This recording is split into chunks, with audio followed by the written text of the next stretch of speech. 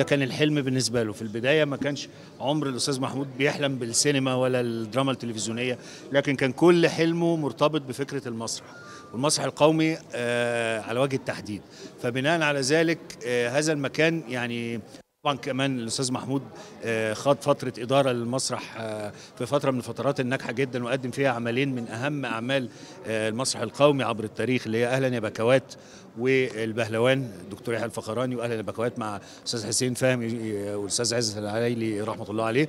فالمسرح ده بالنسبة للأستاذ محمود ياسين مكان له مكانة خاصة. يعني أنت ما تسأل الاستاذ محمود ياسين على الحاجات اللي بيحبها في حياته كانت إيه أو اللي هي تمثل بالنسبة له حاجة كده ليها قدسيتها هيقول لك مدينة بورسعيد وفي القاهرة أول حاجة يقولها المسرح القومي. الاستاذ محمود يعتبر كان يعني زي ما بيقال عليه من البعض يقول جندي السينما المصرية. يعني هو الممثل ال- أو أكتر ممثل في تاريخ السينما المصرية قدم أعمال عن حرب أكتوبر أعتقد حوالي 8 أعمال.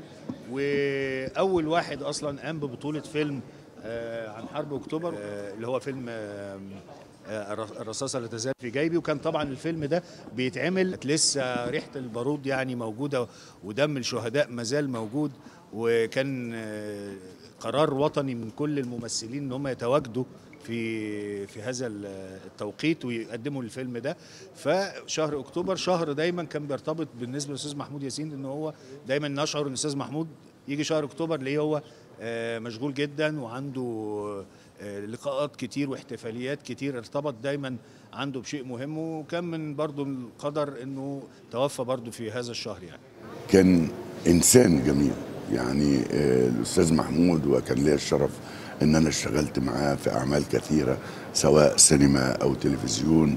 غير العلاقة الجميلة في المسرح آه، ما اشتغلناش مسرح مع بعض لكن آه، آه، كنا يعني كنت متابعه من أول ما كنت لسه ما دخلش المعهد وكان بيعمل أول عمل كبير له.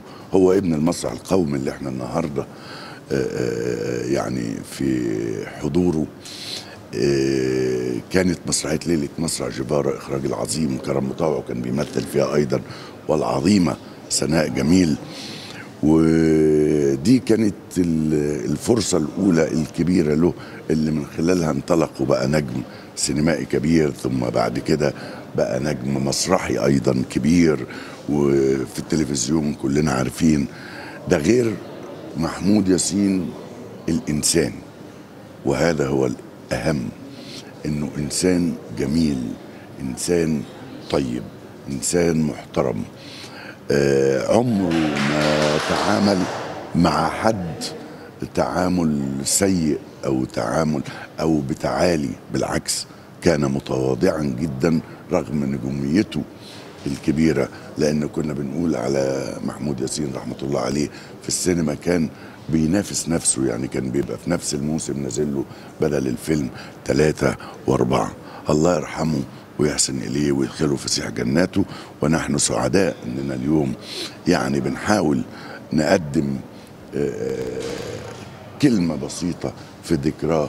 ودايما إحنا كده كده مش هننسى آه، آه، محمود ياسين ولكن دايما نحتفي آه، مواقف أو أعمال آه، الأستاذ محمود آه، في أثناء وبعد حرب 73 كتيرة مش بس رصاصة في كمان بدور في أكتر من عمل قدمه لأنه كان من النجوم الكبار واللي ساعدوا آه، لأن الفن دايما اللي كان آه، بيبقى دافع أيضا وبيعبر عن نبض الشارع آه، في هذه الفترة.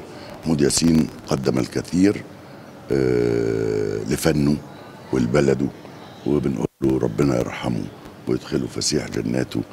أستاذ محمود ياسين ذكراه اللي هو 14 أكتوبر آه، دي الذكرى الثالثة.